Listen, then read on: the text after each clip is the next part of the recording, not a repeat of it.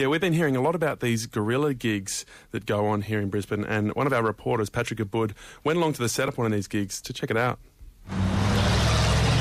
So we're standing here in the alleyway of Winn Street. What we're looking to do here is, is rock up with a, a, hired trailer with full music production equipment on the back, park it in the loading zone opposite this little alleyway where there'll be a gathered crowd, and put on two bands unannounced and see what happens. I'm Kris, I'm 26. I've been doing guerrilla gigging for about four years now properly. I started off as a typical nightclub promoter, doing a, a club night series, touring interstate bands in venues around town.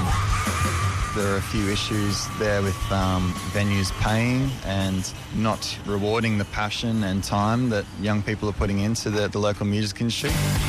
Well, guerrilla gigging is essentially the evolution of live music. It's taking artists and their music into perfectly matched locations and making magical experiences happen. For that, you have to go outside and, and make the whole world your venue.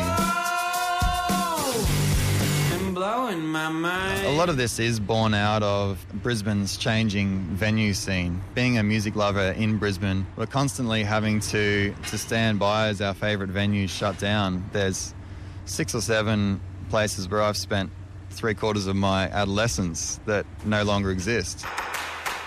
Just from that um, general sadness that comes with that, you need to do something that's not so site specific. So I think the concept of guerrilla gigging, if we can start to make that a legitimate part of the music touring scene, can really exist forever above and beyond specific locations.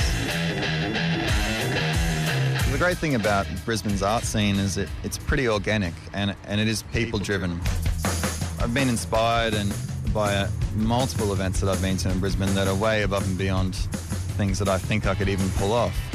And they're just things that happen. Local bands like Velociraptor playing Halloween house parties and hanging from chandeliers. Other local bands like Slug Guts playing midnight sets. And as you walk by a, a house or a flat in Petrie Terrace, you hear these sludgy underground soundtrack wander in, and there's one of the best bands in Brisbane just playing in their lounge room just because.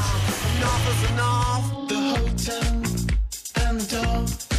Early on, putting on guerrilla gigs, really went for the guerrilla angle and probably went a little uh, too extremist. Um, got in a couple of situations with police and constantly uh, putting on gigs where uh, we weren't really welcome. So you learn a lot along the way about how to integrate what you're doing with the local environment and guerrilla doesn't necessarily have to be an unwelcome thing. Early on, yes, there were gigs in, you know, abandoned pharmacies. There was a gig in a, a church playground, gig underground in a sewer that we tried to do.